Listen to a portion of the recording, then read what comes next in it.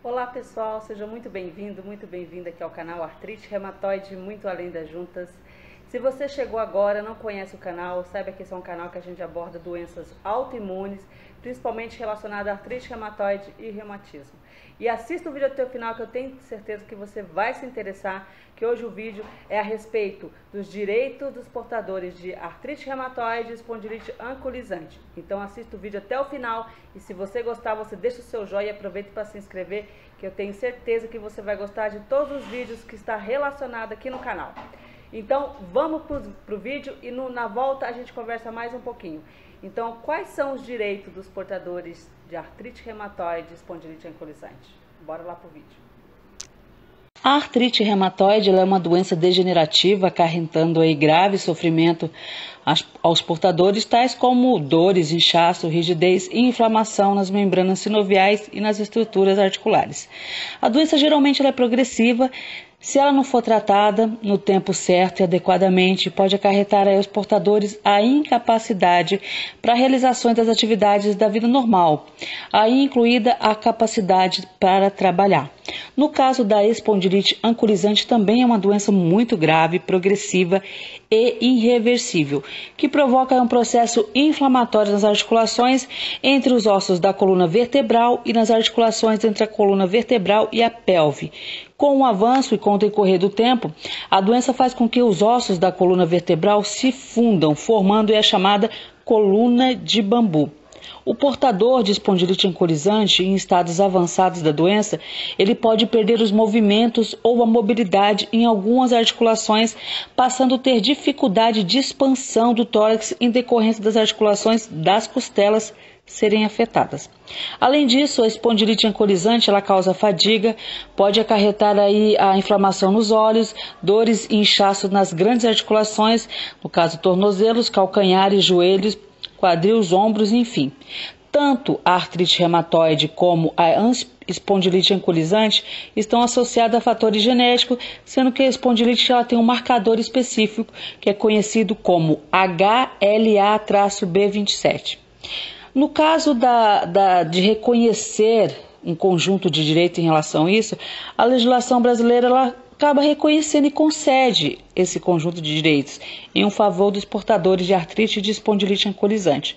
Entretanto, a grande maioria desses pacientes e dos seus familiares não conhece, não sabe como usar e não se beneficiar deste direito, perdendo aí oportunidades que, embora não revertam o quadro da gravidade da doença, pode amenizar a dor o sofrimento e, lógico, auxiliar no tratamento e no controle da dor e da evolução das patologias. Então vamos ver aí os principais direitos dos portadores de artrite reumatoide e espondilite anquilosante. Bora lá para marcar alguns. Direito ao auxílio doença. O beneficiário portador de artrite reumatoide e espondilite anquilosante pode e deve ser deferido sempre que o paciente estiver acometido da fase aguda da doença. Ou seja, ele tem direito de receber o auxílio doença sempre que eles estiverem com a gravidade, estiverem incapacitados, eles têm esse direito, tá? É, outra coisa, é, eles devem apresentar, é, quer dizer, ambas as doenças elas, embora crônicas e irreversíveis, elas apresentam um ciclo onde os sintomas se mostram com maior intensidade, amplitude e frequência.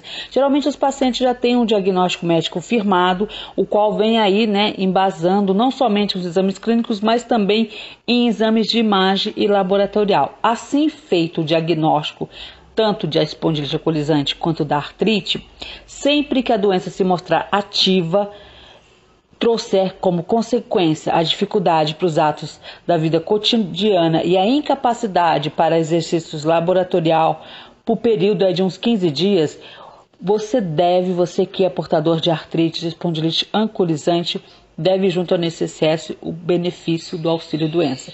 Para isso é necessário buscar em qualquer agência do INSS um agendamento de perícia. Na data agendada, muito importante isso, gente, é recomendado que você leve todos os atestados médicos que você tiver, históricos de diagnóstico e prognóstico da doença, seja de imagem, seja exames laboratoriais, tá?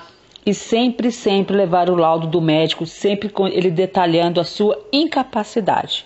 Este documento deve ser acompanhado de todos os exames, que eu já falei aqui, que deverão ser mostrados ao médico período do INSS para que ele forme seu juízo acerca do grau da atividade e das suas limitações, tá?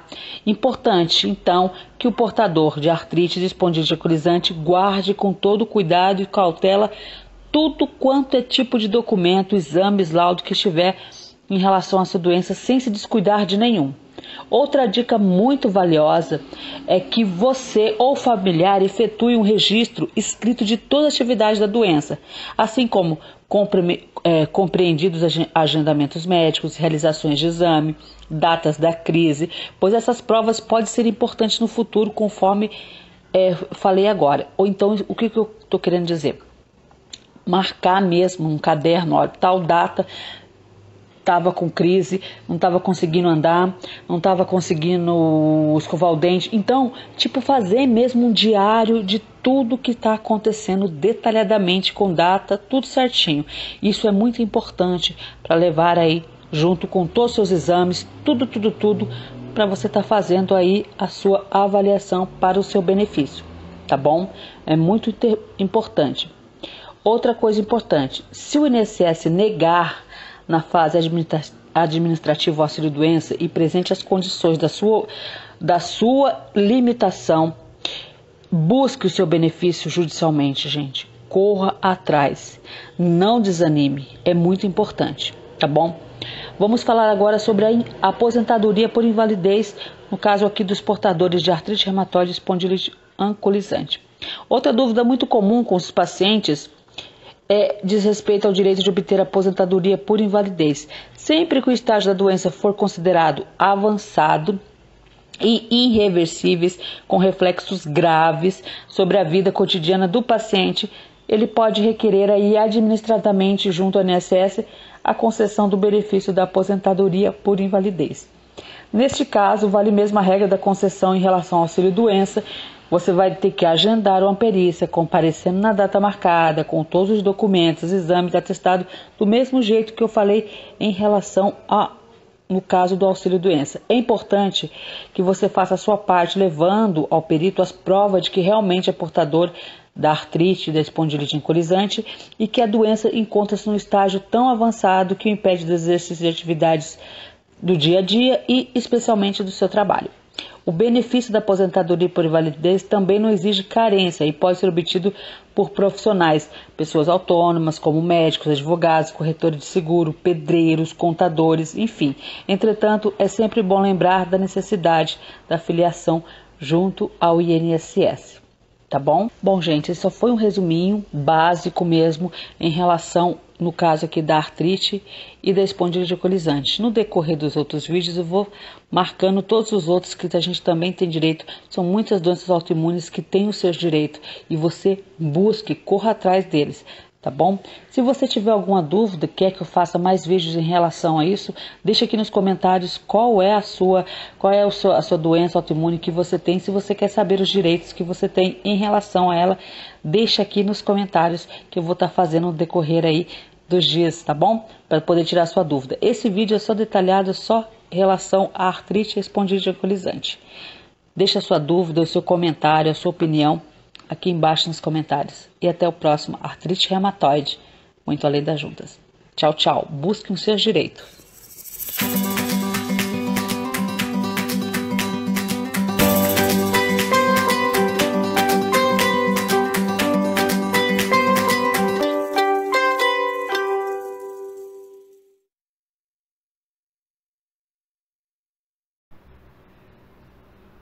E aí, pessoal, gostaram do vídeo? Tiraram essa dúvida? Como vocês estão vendo, hoje é terça-feira. Eu vou tentar ver se eu consigo fazer no decorrer da semana todos os vídeos para vocês poderem ficar, ficarem mais informados aí, tá? Como que vocês estão? Tá tudo bem com vocês? Olha, ontem eu fiz o um vídeo sobre a diferença entre artrite reumatoide e espondilite ecolizante e hoje eu resolvi é, fazer o vídeo a respeito dos, dos direitos dos portadores de ambas as doenças, da artrite reumatoide e da espondilite anquilosante. Se você tiver mais alguma dúvida, mais alguma informação, se você passou por isso, se você, enfim, compartilhe com a gente, deixa aqui nos comentários, que assim outras pessoas que também têm dúvidas, assim como você, pode também estar tá aí vendo, né? É, gente, eu vou é, responder mais aqui algumas perguntas e ler mais alguns comentários. Eu quero mandar um abraço para minha amiga e um beijo para minha amiga Cleusa Silveira. Cleusa, tudo bem com você? Como que você tá? Ela tá falando aqui que ela acha muito interessante o vídeo em relação à artrite doença intestinal, porque ela já teve essa dor e ela nunca descobriu a causa. Agora ficou claro. Agora tá melhor? Já tá tudo certo? Tá medicada, Cleusa? Deixa aqui pra gente, pra gente saber como você tá. Um beijo pra você, tá? Vamos ver aqui mais, é, responder mais, né, gente? Mais comentários, responder mais pergunta. É, um abraço pro meu amigo Carlos França e pra esposa dele, a Milena. Milena, tudo bem com você? Tá, eu, tô, eu, tô, eu tô bem, Carlos. Tá perguntando como tá, tá tudo bem? Ele falou: ó, estamos caminhando, boas melhoras para todos do canal. Abraço. abraço para você e para Milena, tá? Espero que esteja tudo bem com vocês também. É, deixa eu ver aqui mais um a dona Fran. Dona Fran, como a senhora tá? Ela falou: Olha, olá Renata, tudo bem, querida? Eu ainda estou um pouco inflamada, mas estou me cuidando. Muito bem. Fui, fui pro cardiologista. Ah, é, a senhora falou mesmo que a senhora ia no cardiologista, né? Fui pro cardiologista porque estava com a pressão alta e fiz todos os exames. E o médico disse que eu não sou hipertensa, graças a Deus. Beijo, bom final de semana. Ai, graças a Deus, né? Às vezes pode dar um pico aí de pressão por relação ao medicamento, mas graças a Deus que a senhora não é hipertensa, né, dona Fran? Beijo pra senhora e melhora aí com a inflamação, tá? Graças a Deus, por isso que é sempre bom a gente aí tá fazendo um check-up, né? E a dona Fran, ela tá falando, ó, faça ao vivo sim, é legal, tem um YouTube que eu gosto muito e ela faz muito ao vivo. A gente interage com ela o tempo todo, beijos, beijos. Então, dona Fran, eu estou pensando em deixar o canal crescer um pouco mais, porque às vezes ele pode ter uma quantidade X, no meu caso aqui tem 11.300 eu acho, mas nem todos desses 11.300 vai estar tá, é, online, eu acho que não, né, ao vivo, né, mas vamos ver, é que nem eu falei, eu estou dando uma estudada para a gente poder estar tá fazendo sim, é legal, né, interagir, conversar, beijo para a senhora, tá, dona Fran? Alô, Lu, como que você tá? Tá tudo bem com você? Melhorou? Ela tá falando aqui, boa tarde, Renata, boa tarde. Ela, ela tá comentando sobre o vídeo da artrite e doença intestinal, tá, gente? Ela tá falando, ó, eu tenho desinteria, principalmente após o almoço. A minha artrite tá muito atacada. A minha mãe faleceu e eu ajudo no que posso na casa do meu pai. Ô, Lu, meus pêsames, meu amor. É muito triste, principalmente a gente perder a mãe, né? Que é um, um elo bem maior é, afetivo, né? Em relação ao pai. Não que a gente não tenha com o pai, mas a mãe tem um elo mais afetivo. Meus pêsames, tá, Lu? E ela tá dizendo aqui que ela ajuda na casa do pai dela. É, as mãos delas ficam duras, ela tá sentindo muitas dores. Parece que o Requinol não tá fazendo mais efeito. É, se fico 10 minutos deitada, na hora que levanta é horrível. Vai para 3 anos que eu faço uso. Ah, então já, eu acho que já está na hora de trocar, hein? O, Reu, o. Viu, Lu? Porque aí é, é, é, o médico ele avalia, no seu caso não está mais fazendo efeito, e você fala isso para o seu reumatologista para que ele possa estar tá trocando a sua medicação. E, então essa doença está ativa sim, porque aí a gente, quando a doença está muito ativa, se a gente fica um pouquinho parado, independente de deitado ou sentado, a gente levanta com muita dificuldade, muita dor, realmente aí não está dando muito certo mais o remédio, né? É horrível, eu sei, porque eu já passei por isso também. É muito ruim, né, gente? Muito ruim. Nossa, não dá para viver com dor, não. Melhoras aí, Lu. Depois você fala pra gente como você tá. Um beijo pra você, um grande abraço pro seu pai. Mais uma vez, meus pêsames, tá? Força, meu amor. Força, tá? Vamos ver aí. Vou ver aqui mais um. A minha amiga Maria Célia Morim, ela tá comentando aqui, né? Deixa eu ver. Ah, amém, querida. Fique com Deus também. Beijo. Beijo para você, Maria Célia Amorim. Então, gente, é, se vocês tiverem dúvidas, quiser saber mais de outro vídeo, vocês deixam aqui nos comentários ou vai lá no Instagram do Artrite lá e posta no direct que eu respondo para vocês, tá? pra gente poder, pra mim tá fazendo mais vídeos e interagindo com vocês, tá?